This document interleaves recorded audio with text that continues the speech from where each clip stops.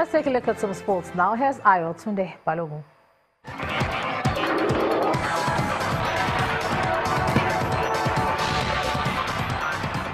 Rivers Angels this evening emerged champions in the women's final of the 2017 Aiteo Cup played at the Rwang Pam Stadium in Jos. The River State-based club side defeated this year's finalist Ibom Angels 3-0 on penalties after the game ended 1-0 in regulation time to lift their seventh trophy in Nigeria's oldest football competition. Cynthia Aku gave Rivers Angels the lead on the 48th minute, while Glory Obona responded with the equalizer just within five minutes. With the win, Rivers Angels will be going home with a 10 billion naira prize money for the champions. Super Eagles technical advisor Gernot Rohr wants to use the final group game in the 2018 World Cup qualifying series against Algeria to test new players. Coach says the intention isn't to lose against the Desert Foxes, but he also wants to use that game and other international friendly games to determine his squad for Russia 2018. The next step will be to see all our players. We couldn't play with 23. We could see only 14. And uh, but now we are qualified, so we can test some of our new players on some positions. We know that we have to be better, we have to improve, and this is the opportunity against Algeria. We don't want to lose, but we must to just have to see all our players now. I will wait for this game and I will wait for the friendlies we can do after to have really an idea about the, the players who can come to Russia with us. In the UEFA Champions League, EPL reigning champions Chelsea this evening blew a 2-0 lead against Italian side AS Roma to settle for a 3-0 draw as both clubs stayed firmly on course for a place in the last 16. Earlier in Group C, Atletico de Madrid and Qarabag played a goalless draw. Manchester United beat Benfica 1-0 to maintain their 100% record in Group A. Paris Saint-Germain PSG also enjoyed their perfect record in the group phase following a 4-0 bashing of Anderlecht. Bayern Munich beat Celtic 3-0.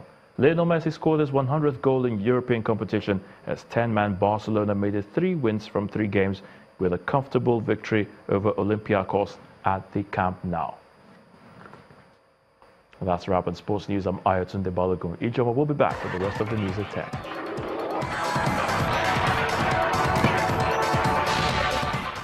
Thanks a lot, Ayotunde. Now, news just coming into us says that some state governors are in a closed-door meeting in Abuja, the federal capital.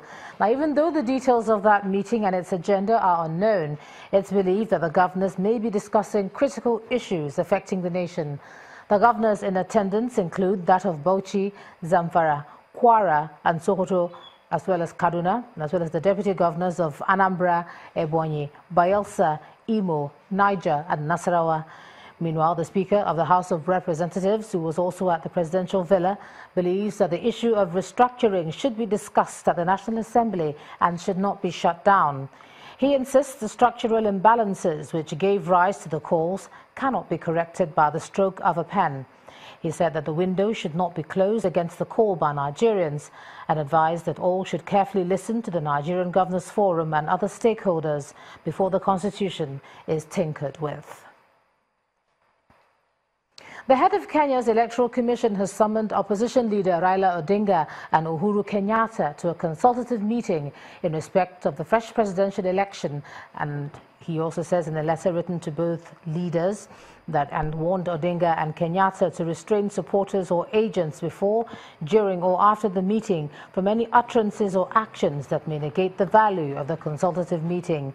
The letter comes as one of the IEBC's top officials, Roselyn Akombe, resigned and moved back to the United States amid death threats ahead of next week's presidential election rerun. The IEBC said it regretted her decision to quit, while the chairman, Chebukati, conceded that he could not guarantee the poll would be credible. Three people have died and two more injured after a gunman opened fire at an Edgewood, Maryland countertop company. The shooter entered Advanced Granite Solutions in a business park outside Baltimore and fired multiple shots from a handgun, hitting five people. Three people died at the scene and the two wounded were taken to hospital. The gunman, identified as 37-year-old Radee Prince, was believed to be associated with the business. He had a criminal history but no motive has been given for the shooting. And the main news again. President Buhari today arrived in Ankara, the Turkish capital, on a state visit ahead of the D8 meeting in Istanbul on Friday. Migration, defense and security are top on the president's agenda. Also today, the federal government distanced the military from rumored vaccination in schools, insisting confirmed monkeypox virus cases in the country remain three. And the head of Kenya's Electoral Commission has raised concerns over next week's presidential rerun and asked for a meeting with President Uhuru Kenyatta and Raila Odinga. That's the news at 10 tonight. Thanks a lot for staying with us. I'm Ijoma Onyato. Do have a good night.